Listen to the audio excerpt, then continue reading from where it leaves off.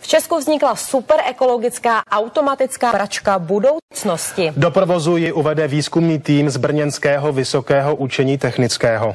Bude prát prádlo studentů z místních kolejí a zároveň vyrábět energii pro další praní a sušení prádla. Když se řekne velké prádlo, každá hospodyňka si vybaví něco jiného. Ani česká pořádku milovná žena to neměla vždy jednoduché. Konec útra přišel teprve před půl stoletím s vynálezem automatické pračky. A tento proces praní vhodný i jako terapie pro sklidnění mysli si zřejmě oblíbili i naši vývojáři. Prádelna budoucnosti ale vypadá jako ta dnešní pouze na první pohled.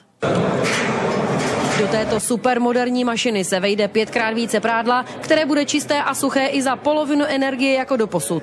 Princip je poměrně jednoduchý. Na pračku napojí mikroturbínu, která vyrobí tepelnou a elektrickou energii. Ta tepelná se využije k sušení, elektrická e, potom do sítě, či ušetříme spotřebu elektřiny ze sítě. Jinými slovy, pračka nejen vypere špinavé prádlo, ale ještě si u toho vyrobí energii na další praní a sušení. A nejen to, lidé zužitkují i další její zdroje, které dnes končí v kanálu. Odpadní voda je teplá a relativně čistá, ta ze ždímání, zmáchání a tu můžeme opakovaně použít procesu. To jsou prostory pro úsporu.